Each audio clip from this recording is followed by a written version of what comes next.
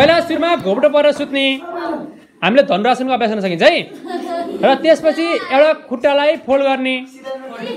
अनि त्यो खुट्टाको पैँतालाको भागलाई चर्पा समात्ने राम्रोसँग होइन? अगाडिपट्टि भागलाई पैँताला अगाडि भागलाई।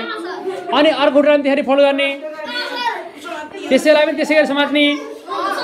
सास टन्न भर्ने। अनि उठाउने शरीरलाई। हो जाने ल। हो यही हो।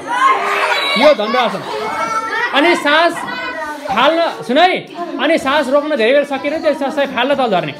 बिस्तारै। हो? यसरी हामीले यसलाई कतिपय गर्न सक्छ तिन पटक।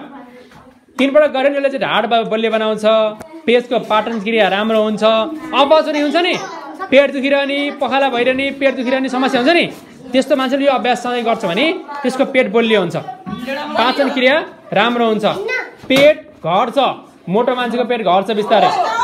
अनि मुख्य के हुन्छ चाहिँ यसले हाइट पनि बढाउँछ। है? यसले हाइट बढाउन सहयोग गर्छ। हो पाँच छवटा है? यसरी यसरी हामीले गर्न सकिन्छ। तिन पटक सबै तिन पटक गर्न सकिन्छ। सुन्यो? कति पटक छ ती तिन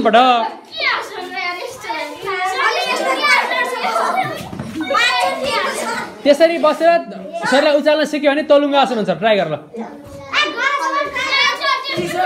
तलुङ्गा आसन। पहिला पद्मासनमा बस्ने बस्ने। अनि बस। पद्मा बस्यो। ल। अँ। अब दुवै हातको आड लिएर शरीरलाई उचाल्ने। हो। हो।